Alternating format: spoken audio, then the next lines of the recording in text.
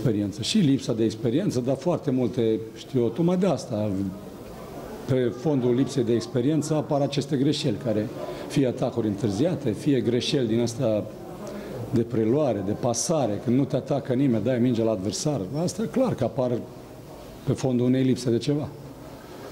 Va trebui să strângem rapid rândurile, să facem analiză foarte, foarte rapidă și să vedem ce mai putem să reparăm în timpul ăsta scurt, care mai este până să încheie perioada de transferuri, pentru că sunt mulți jucători care ca nivel mental nu pot să, să, să autodepășească și atunci e foarte greu să putem să facem pași înainte. Când, când așteptați uh, jucători? Fiecare zi așteptăm. Așteptăm în fiecare zi, da, am spus. Important este să se întâmple. Stăm de mult timp, dar avem handicapul că începem foarte repede campionatul, mare grabă în România să jucăm la 40 de grade.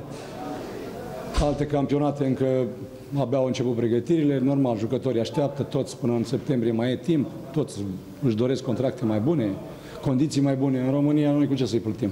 Nu avem cum să-i plătim. În momentul când rămâne ei pe afară, e târziu deja. Cam asta e situația. Sigur, știm ce este de făcut, din păcate suntem cam legați de mâini și de picioare în anumite momente.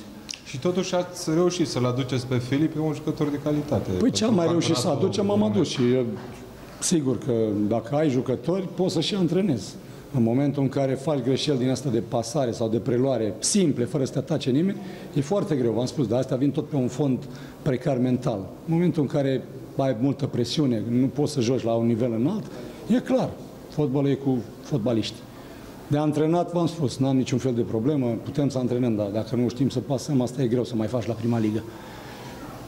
Da. Din Des, păcate pentru noi. Despre partida cu Faro? Ce vă pot spune? Abia s-a terminat jocul cu Iașu, cu uh, Sibiu, cu Hermannstadtul. Avem timp, o săptămână, vom vedea ce putem să mai reparăm. Schimbările pe care le facem, v-am spus, degeaba le facem, pentru că etapa trecută, iarăși am făcut greșeli individuale, am primit gol, am schimbat, etapa asta am făcut din nou greșeli individuale, iar am primit gol. E destul de greu de lucrat. Muncim în zadar.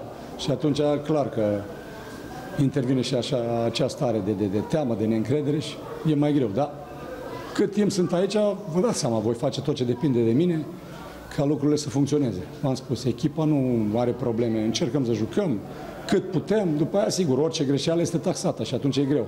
Dacă construiești, construiești și noaptea dărâmi, vine vorba, între ghilimele. Mulțumesc, mult succes! Sănătate! Cine te aștept aici?